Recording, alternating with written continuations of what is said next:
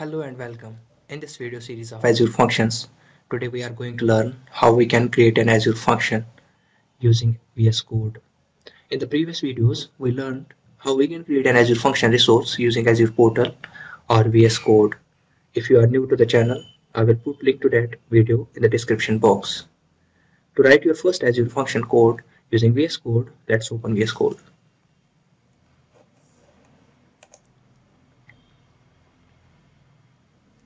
So once you have opened that VS Code, here first of all we have to add a folder to our workspace.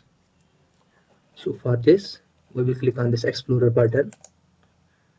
Click on this Open Folder button. From here, we can either choose an existing folder or create a new one. So let's create a new one for now. Rename it to YouTube demo. And click on select folder. Once we have selected the folder we click on this azure button icon.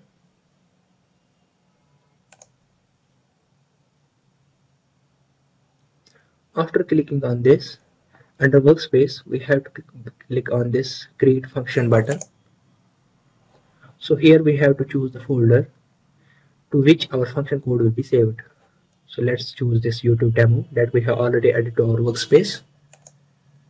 Then we have to choose the language in which we are going to write our code. Then comes the .NET runtime stack. So here we have to choose the runtime stack that we have already used to create our Azure function resource on the Azure portal so that while deploying this Azure function to our actual Azure function resource that we have created on the portal, we can meet all the requirements.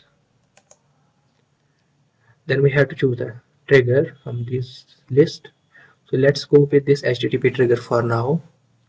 So an http trigger is one that is ex uh, executed or fired whenever an http request is raised. Let's name this trigger get name for now. Then comes the namespace let's choose default here then we have the access rights. We have three types of access rights. One is function then is admin and we have anonymous. So anonymous is one in which anyone can call our function app or make call to our function apps.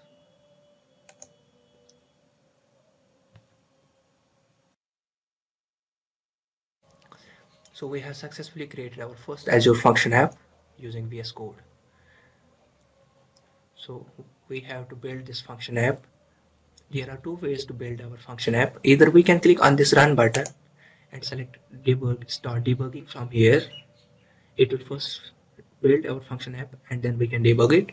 Or we can go with the terminal and click on this new terminal button and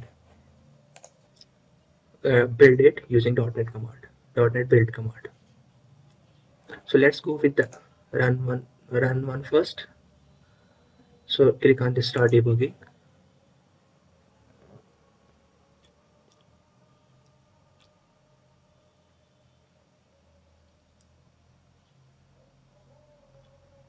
We have successfully built our function app. So let's copy this url fire it into a browser. So let's click on this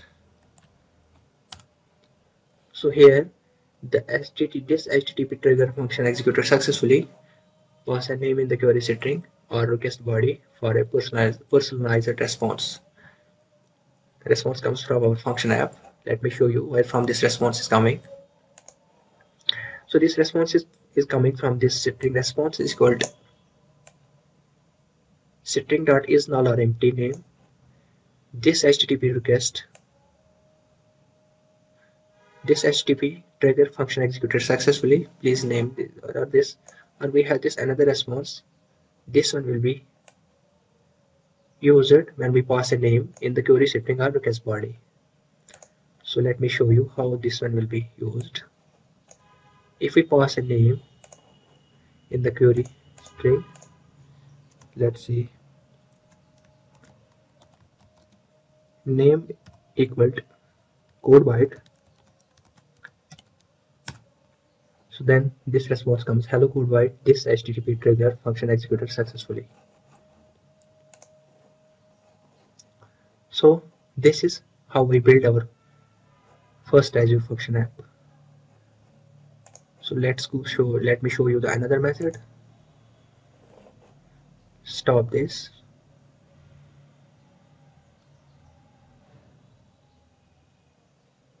We have successfully stopped it let's click on terminal new terminal. Here let's say .NET space build. It will it will start building our function app. So build is succeeded. Now let let's click on this run without debugging button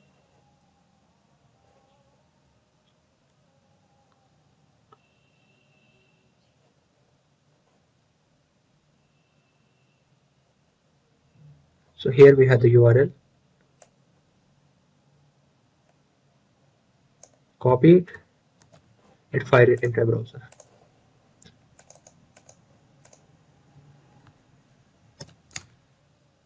So this is the response coming without passing name.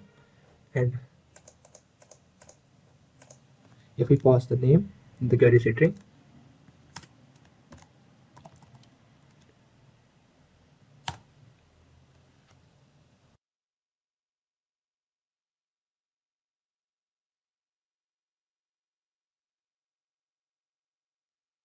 this response will come.